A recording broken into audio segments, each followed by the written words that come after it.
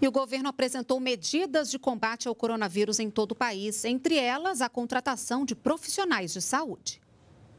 Segundo o Ministério da Saúde, serão contratados temporariamente cerca de 5.100 profissionais de saúde para ajudar no combate à doença em todo o Brasil. São médicos, enfermeiros e fisioterapeutas. Outra preocupação do governo é a baixa taxa de imunização contra a gripe. Segundo o Ministério, apenas 62% do público-alvo foi vacinado tanto os estados quanto os municípios devem envidar esforços nesse momento de fazer essa vacina nesse público-alvo utilizando todas as medidas já divulgadas pelo Ministério da Saúde a fim de evitar aglomerações. O ministro-chefe da Casa Civil, Braga Neto, destacou a habilitação de mais de 6.340 leitos de UTI para tratamento da Covid-19 em todo o país, incluindo leitos específicos para o tratamento de indígenas. O governo